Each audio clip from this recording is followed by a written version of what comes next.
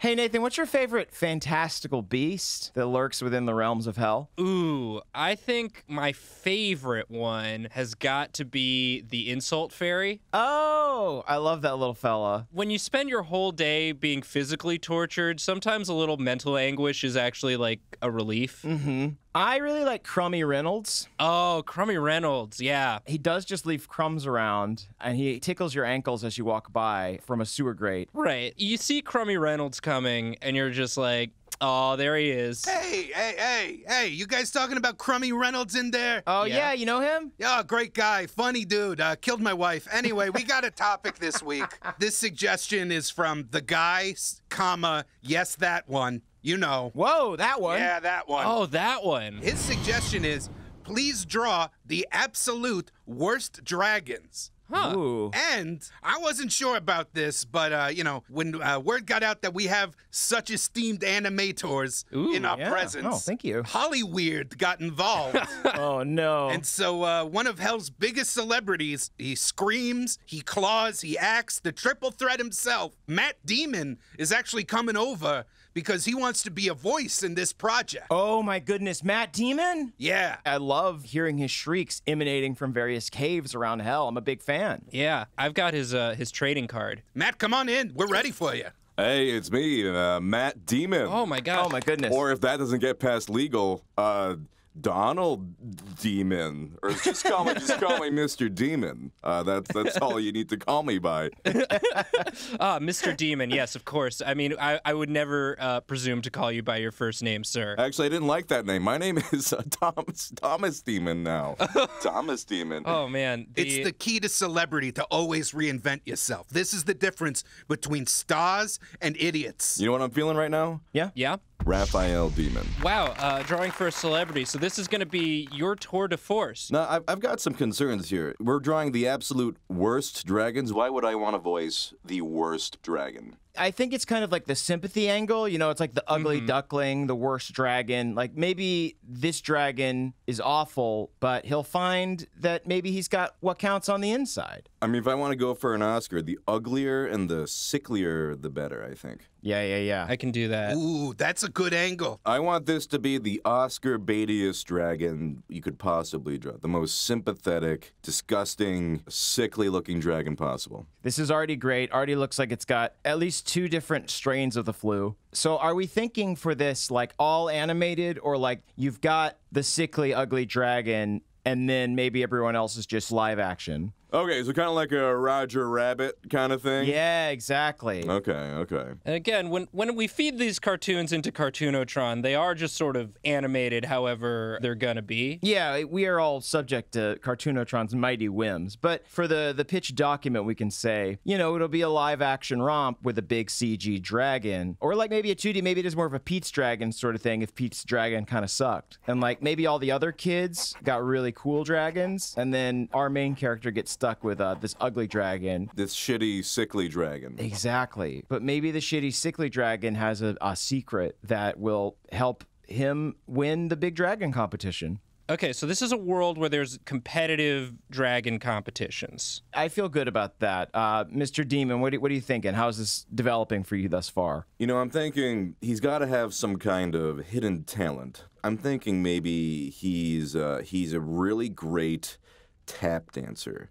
Just that that's his calling. You look at this sickly, disgusting little piece of shit dragon, but then you find out he's just an amazing goddamn dancer. Oh gosh, yeah, and it's hard because the only reason he didn't know is because they don't make tap dancing shoes that big. Right. Yeah. And once he meets this custom shoemaker, is like, listen, kid, I've got, I've got, I'm gonna make him for you. I'm gonna make you a star. I'm gonna, you're gonna dance on that stage. Uh, we gotta decide a name for this dragon. Oh, absolutely. Hmm. All right. Uh, my first thought was sicko. I don't think Sicko. that's good. Okay. Okay.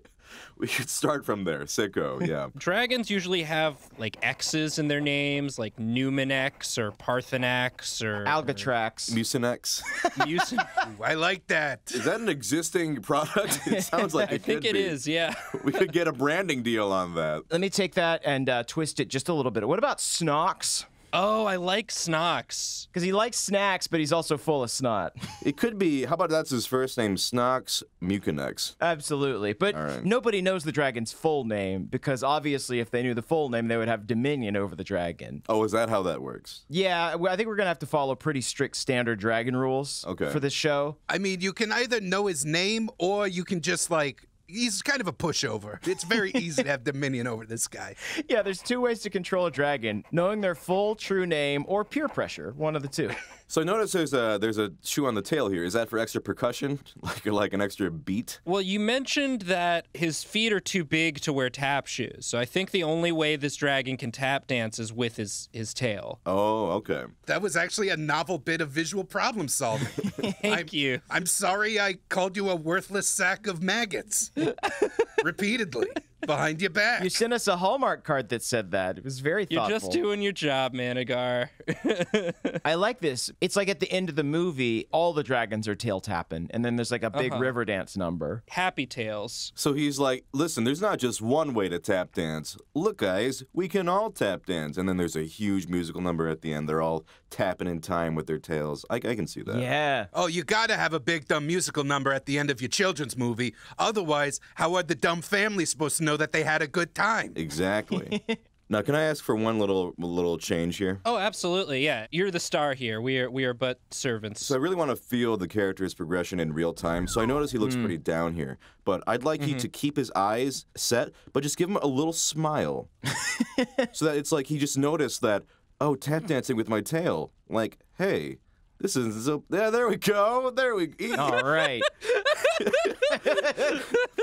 that was a very good note. I can see that his day is just brightened considerably. Now, do you think that there are other games that the other dragons play that Snox is not good at, and that's why tap dancing is such a boon for him? I think that they all love to play uh, street hockey, but he's just not so good at it. Right. And so he's like, "How can I show those guys?" And then he, he takes puts a little shoe on, and then the little smile creeps on his face, and he's like, "Oh, I think I got something here." Yeah, when he plays street hockey with the other dragons, he's always taking the ball and juggling it and like tapping it around. And they're like, no, that's too much finesse. No, too percussive. Come on.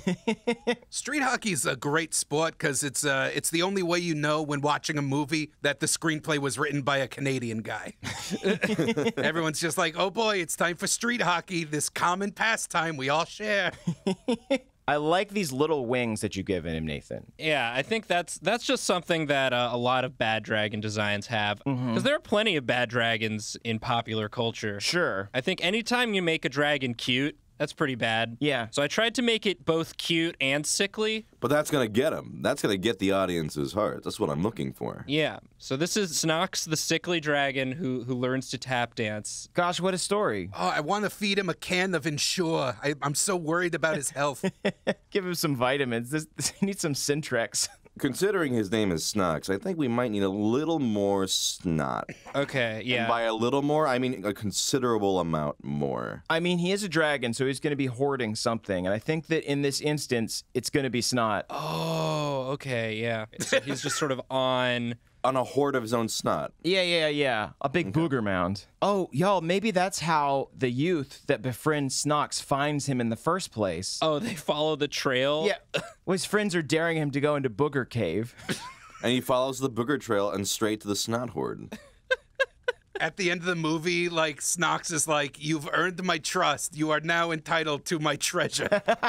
and the kid's like, I- "I'm good." I don't I don't want it. No, you can keep it. Ooh, Mr. Demon, I, I love that voice. Oh, thank you so now, much. I have a proposition. Do you think you could just do all the voices in the movie? Oh, uh, I won't do the movie unless I do every single voice in the movie. That's in my contract. Yeah. That's great. Should I give Snox here a voice? Oh yeah. Oh, yeah, absolutely. Now, I'm no writer, so I'm going to need someone to feed me a line for um, Snox Mucinex here. Um, it just keeps coming. I don't control the snot. It just flows out of me. Okay.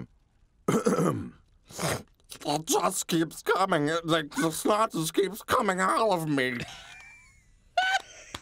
It just keeps coming out over and over. All right, uh, listen, I'm going to have to interrupt you guys. Uh, turns out this is only an episode preview. Hmm. To watch the rest of the episode, you got to go to dropout.tv and sign up for Dropout. Oh, dropout.tv. I've heard of that. Yeah, it's a new original video streaming service with uh, original shows and comics and text chats. Wait, our torment is just entertainment? I mean, it's also an engaging and hilarious weekly showcase of your creative talents. Aw.